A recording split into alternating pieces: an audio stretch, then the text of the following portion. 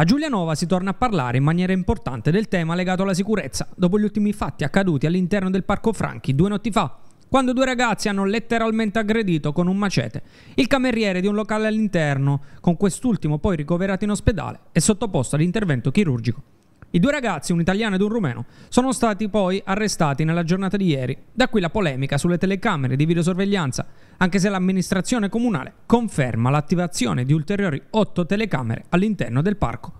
Un episodio sicuramente spiacevole, il Parco Franchi è particolarmente attenzionato, adesso verranno installate ulteriori telecamere, l'illuminazione verrà potenziata, però non deve passare il messaggio di una città che in realtà non è sicura. Ringraziamo le forze dell'ordine che sono subito intervenute, hanno individuato i soggetti, mi risulta che alcuni appunti poi siano stati anche eh, rinchiusi in carcere. Eh, Giulianova è una città sicura, noi facciamo di tutto anche con la nostra polizia locale per garantire la sicurezza in città e, e soprattutto in quei luoghi eh, che sono attenzionati eh, renderemo attraverso l'installazione di telecamere e di ulteriore illuminazione più sicuri i luoghi.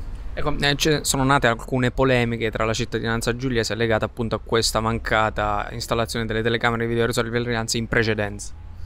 Ma in realtà delle telecamere già ci sono, noi le, adesso le andiamo a potenziare, in città ci sono se non vado errato oltre 130 telecamere eh, che sono servite più di una volta a rilevare situazioni eh, di, di, delinquenza. E ne, ne, aggiungeremo delle altre, sono previste, così come è previsto il servizio di potenziamento, di vigilanza e controllo eh, anche da parte di tutte le altre forze dell'ordine.